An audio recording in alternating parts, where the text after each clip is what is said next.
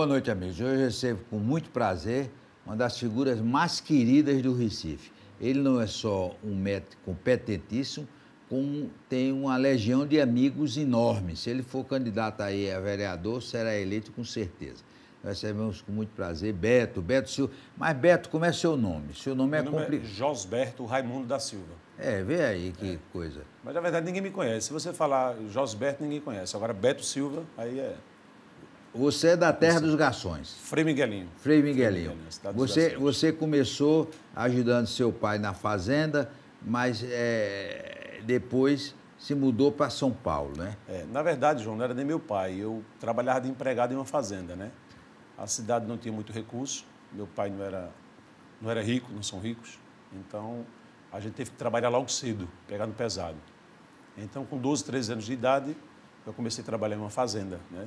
Meu amigo Artuzinho, é, Zé Arthur, um abraço, Gustavo. Então, é, de, tudo eu fazia. Tirava capim, só não fazia é, é, é, ordenar as vacas. Por quê? Porque não tinha recurso a cidade. Meus pais, família simples do interior. Não, mas, mas eu digo, mas na fazenda não tinha as vacas, não?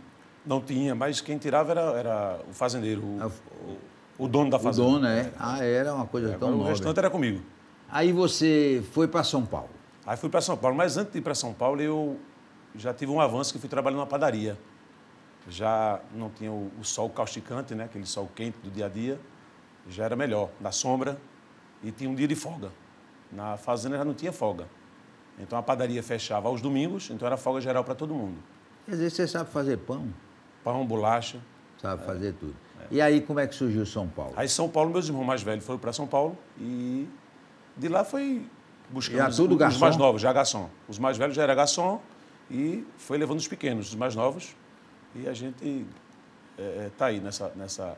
Ô Beto, qual foram os restaurantes de São Paulo onde você trabalhou? Eu trabalhei, eu comecei primeiro, João, no Chique Angélica, um restaurante famoso no, na Higienópolis, tá?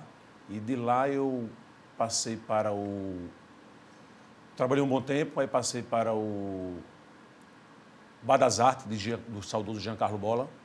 Aí fui trabalhar também no Rubaiá da Faria Lima, que, que continua sendo um dos restaurantes mais famosos, né? inclusive agora tem um Figueira Rubaiá. E foi uma escola. Aí fui bater na, na, nas portas do Bargaço da Oscar Freire, de Leonel. Foi onde é. conheci o saudoso Leonel, já visando voltar para Recife, para a terrinha natal. Né? Mas você, é nesses restaurantes famosos de São Paulo, trabalhou como maître? Cheguei a trabalhar como maître, com muito pouco tempo, porque eu sempre procurei dar o melhor, né? E querer sempre dar um avanço na profissão. Aí eu cheguei a ser maître ainda com 20 anos, 18 anos de idade, eu era maître. Aí veio para o Bargaço? Aí fui para o Bargaço de, de, do, da Oscar Freire para conseguir uma transferência para Recife. Foi quando conheci Leonel e vim para Recife. Aí Recife foi uma... A experiência foi grande. No Bargaço. No Bargaço foi... Na, na, na, na Avenida Boa Viagem. Na, Avenida Boa Viagem. Passei pouco tempo. Aí fui, entrei no Grupo Dias. Aí estou até hoje. É, a experiência é, foi grande. Aí você foi para o Tio Armênio, mas passou uma temporada lá no, no, no, português lá de... Isso. Eu, eu, antes de entrar no Tio Armênio, eu fiquei muito tempo no Sucata, em Piedade. O Pinap, que era aquela hamburgueria ali no Paulo Pina, aqueles hambúrgueres artesanais. Aí fiquei no Barroso, muito tempo. Aí tio Armênio do Shopping Recife Rio Mar. Né? Inaugurei o Shopping Rio Mar junto com o tio Armênio. E seu João Carlos era cliente lá. E ele, modéstia à parte, gostava muito do meu atendimento. ele me disse que pagou família. muito caro pelo seu passe. Foi o que ele disse, eu não sei. Disse que pagou caro pelo seu passe. Aí você passou um bocado é, de tempo lá. Passei no... um tempo lá. No... Na época era Rui Paulo e teve aquela transição, Rui Paulo e Doruim. É, e fechou foi. agora, né? Fechou agora. Agora foi. é do grupo agora. É do grupo do tio Armênio, é. é.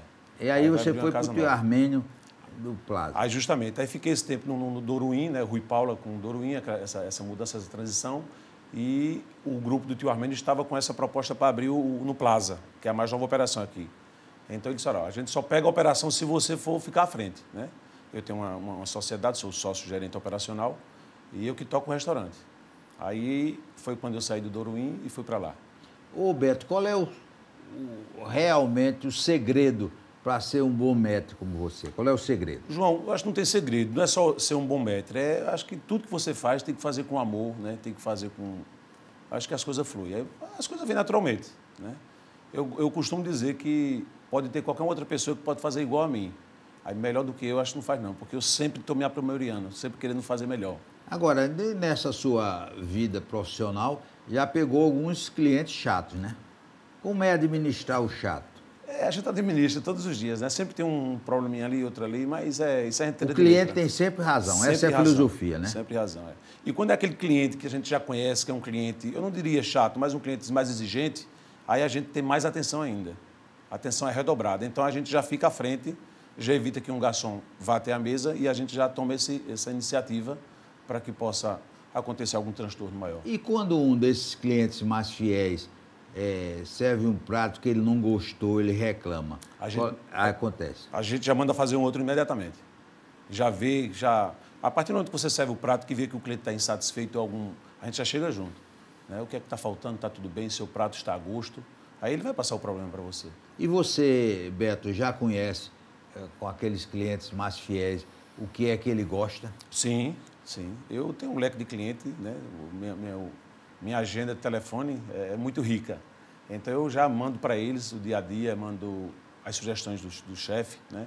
E a gente já conhece o perfil de cada cliente, então é, é muito bom. Quem é o chefe do Tio Armênio do Plaza? O chefe do Tio Armênio do Plaza é Rafael. É um chefe que veio de São Paulo, trabalhou em São Paulo, no Rio de Janeiro, e está com a gente. Ele era do.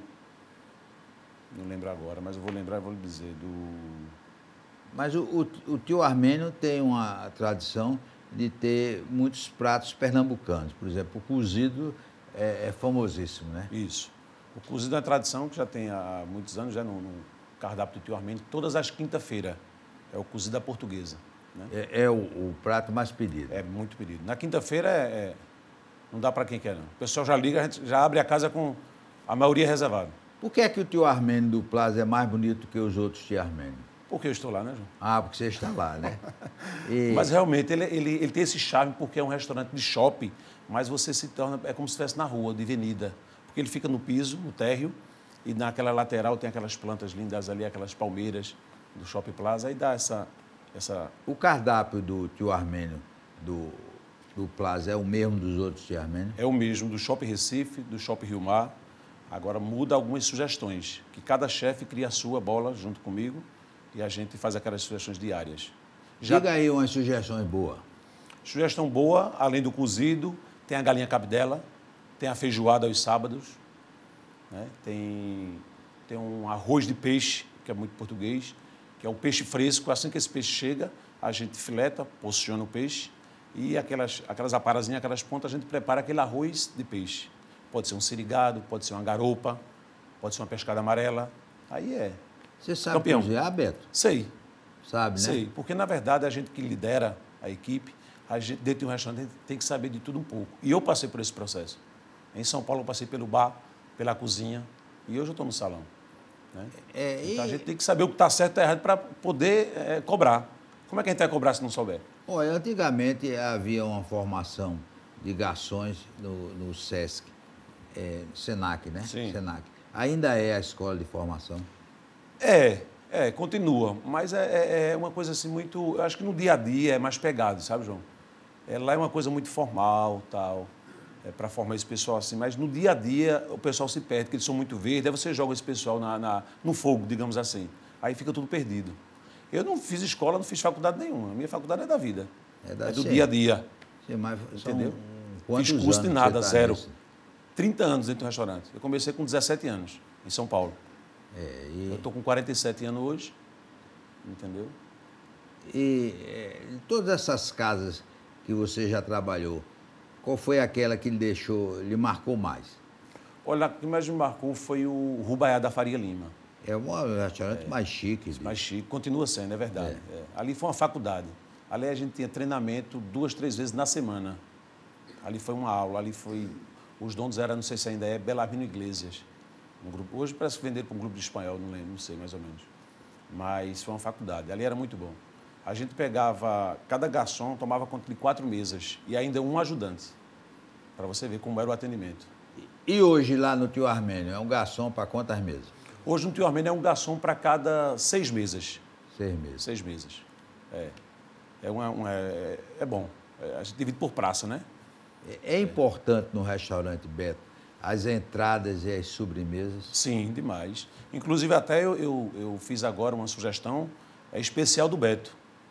É, uma casadinha que diz, né? É a entrada, o prato principal, a sobremesa e a bebida. Completo. Completo. Mas o, o, o tio Armênio tem uma das características importantes, que é o custo-benefício. Né? Ele tem a comida é. boa e não é cara. É verdade. É, custo-benefício e até mesmo barato, digamos assim, né? Porque realmente é, é, é, é muito bom. E é, a gente entrega uma comida de qualidade, né? É o preço bom, preço justo, entendeu? Mas você deve ter é, muita ginástica para fazer, né? Porque os insumos sobem todo dia. Né? Exatamente, né? é, Mas o CMV sempre bate. E, e como é, é, o departamento alcoólico lá do restaurante? Como é que você administra o setor de bebidas? É, o senhor fala como assim? Como é que oferece a bebida? É, oferece o vinho, oferece a ah. cerveja, oferece o suco? Pois não, quando a gente já conhece o perfil do cliente, o cliente quando liga para fazer uma reserva, a gente já coloca o vinho que a gente sabe que ele gosta na mesa com as taças, bate no balde com gelo. E quando a gente não conhece o Ele perfil fica cliente, todo abilolado quando chega, né? Feliz Essa demais. mordomia é já está meio vinho, né? Isso é muito... E chamar pelo nome, né? É. Isso é importante demais. É uma coisa que eu prezo muito, é isso aí. Eu acho que conheço eu não diria nem Recife, eu acho que o estado de Pernambuco todo eu conheço pelo nome. É, conhecer é, pelo nome. É verdade, isso é muito tra... importante. É importante. Demais. E, e, quando vem um novo, como é o seu nome, para eu aprender, é, né? Não, é, eu já digo logo. É. Aí a gente já, já oferece uma entrada, quando não conhece o perfil do cliente, atende, puxa a cadeira, enfim, faz todo aquele mesmo plástico, né, de, de, de, de receber o cliente, oferece uma bebida, seja uma água, um suco, uma taça de vinho. Aí o cliente vai, você vai conversando, vai conhecendo o cliente, né? Ele vai qual é a entrada lá que faz mais sucesso? Bolinho do bacalhau. É, que é. é Aí é carro-chefe. E é carro-chefe. Carro-chefe. Né? É. E, e, cada dia tem um prato do dia, né? Cada dia tem um prato do dia, além do cardápio normal, que é aquele cardápio extenso do dia a dia. Aí tem as sugestões semanais, que é o cozido toda quinta, a galinha cabidela na quarta, né? o arroz de sirigado na sexta, a feijoada no sábado. No domingo tem uma palheta de cordeiro, que é uma maravilha e, e as pessoas se viciam nesses pratos. Né? Demais. Né? Vai demais. toda semana, né? Toda semana. Tem cliente lá que já liga, sai comendo, já deixa o meu reservado para a próxima semana. Depois, no intervalo, nós vamos continuar conversando com Beto Silva, esse mete de tanto sucesso aqui no Recife.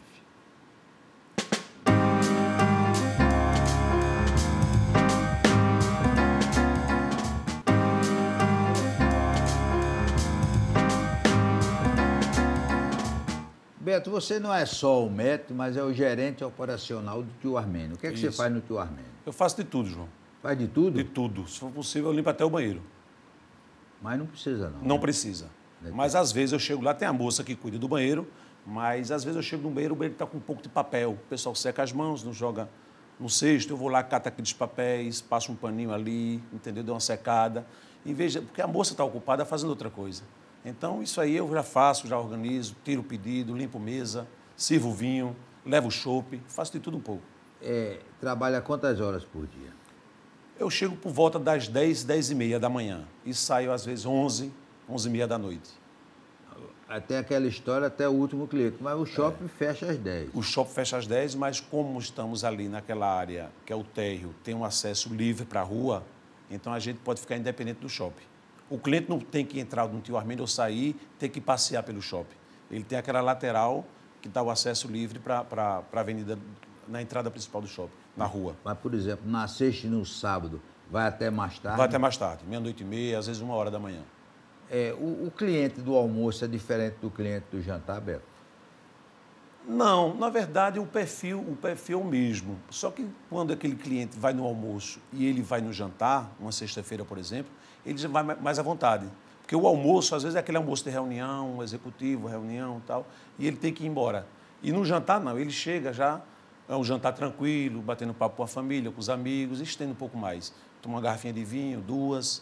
Mas, então não tem hora. Ô, ô Beto, principalmente o almoço domingo é o almoço da família, né? É, é mais corrido. É mesas grandes, bastante reservas, mesa de 10, 12 pessoas. Já durante a semana é mais calmo. Mesa de né, uma das características do tio Armênio é a rapidez, né? Você pede um prato no instante o prato chega. Exato, é. Como é que você consegue isso? É a logística, né? A gente tem a equipe bem treinada na cozinha para isso. o chefe Rafael, como eu falei, é, foi da Adega Santiago. Né? Ele tem uma equipe preparada e é chegando no comando e mandando. É chegando a comanda e já liberando. O que é comanda? A comanda é o pedido que o garçom faz na maquineta, ele já envia direto para a cozinha. Aí tem a impressora que já sai a, a comanda. Aí ele lê o pedido, mesa, o número da mesa e o pedido do prato da entrada. Aí ele já marcha, fala machar, que ele faz o pedido. A cozinha de um restaurante como o Tio Armênio é uma confusão grande, é? Não, não é- eu não diria uma confusão, é assim, é movimentada, é corrida. Para quem não, não, não, não- não entende, não é da área, não é do ramo, se chega lá se assusta. Porque é todo mundo correndo, parado. um não fica- Ninguém fica gritando, parado. Exatamente. Manda o prato, manda o filé, manda o arroz, manda o bacalhau.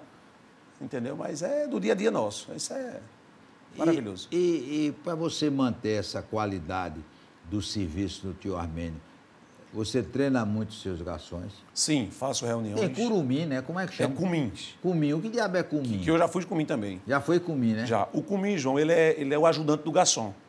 Tá? Ele é uma pessoa que ele não está tão preparada. Tá? Ele serve para limpar a mesa, para limpar as mesas, para levar as bebidas. Né? E está se preparando ali para uma ocasião, uma promoção, pintar uma vaga, ele já ser um garçom. Então, quando eu comecei no, no, no Rubaiá da Faria Lima, tinha cumins lá de um ano, dois anos. Eu entrei como cumins, passei quatro meses. Já fui promovido para garçom. Porque eu queria o melhor. Eu não estava acomodado. Porque o comi é o seguinte, ele tem que procurar o que fazer. O garçom vai abrir o vinho, ele diz, não deixa que eu abra, eu quero aprender. O garçom vai servir uma mesa, ele diz, não deixa que eu sirvo, eu quero aprender. Ele tem que mostrar o interesse de melhorar, de querer essa promoção. Né?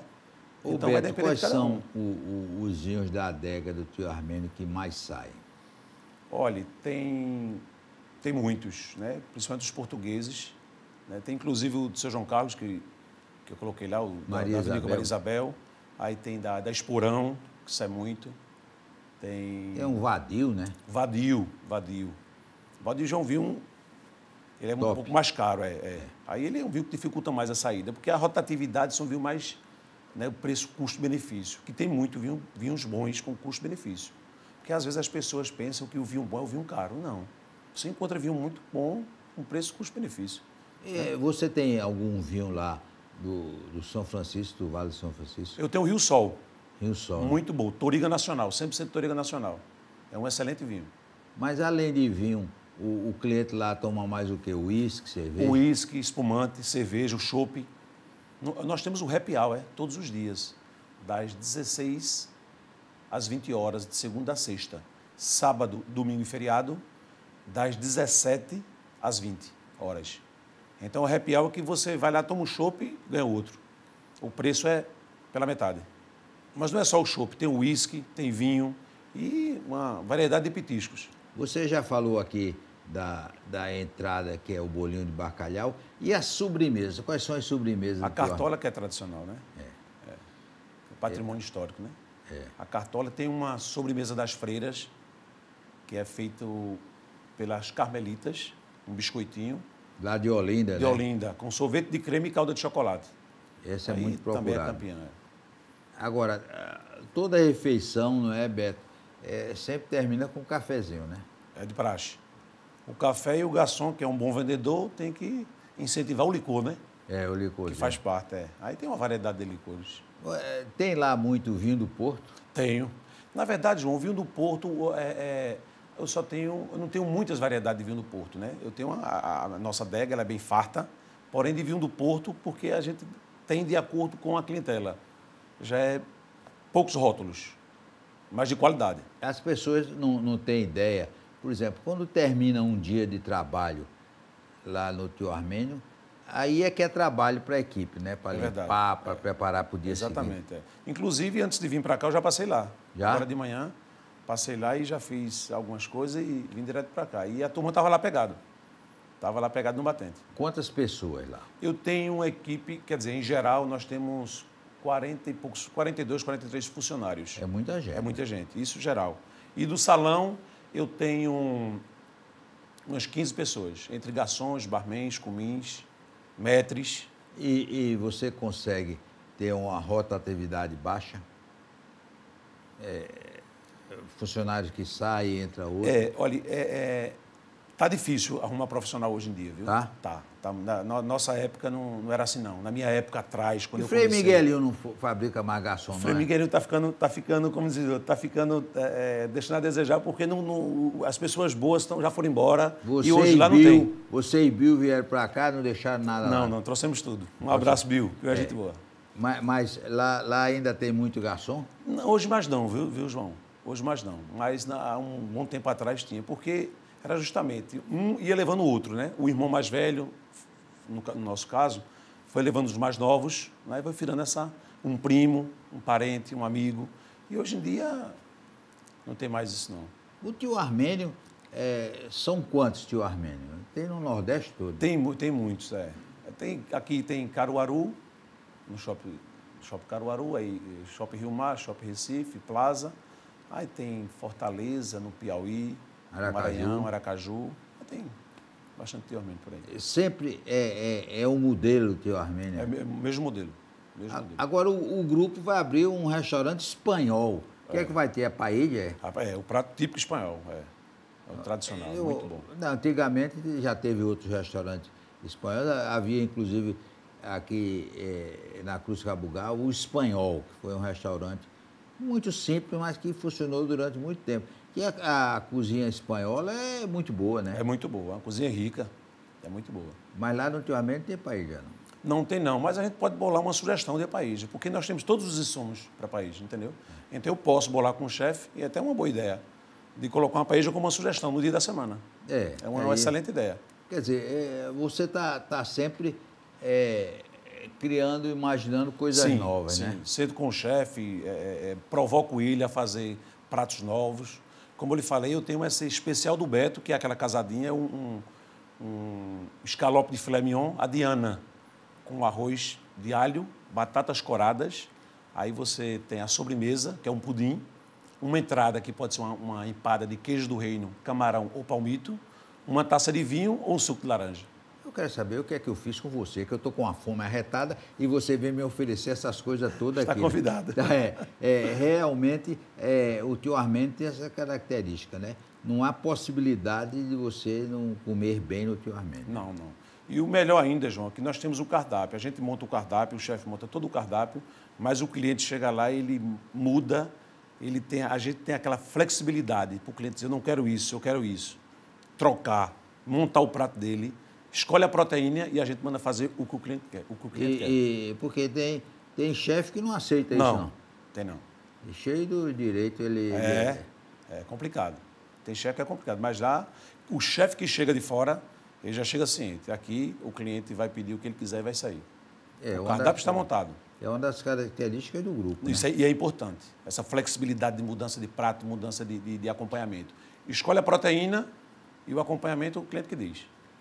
Agora, você, como eu já disse, é uma figura tão querida e vai virar realmente recifense, né? É verdade. Eu já era de coração, né, João? É.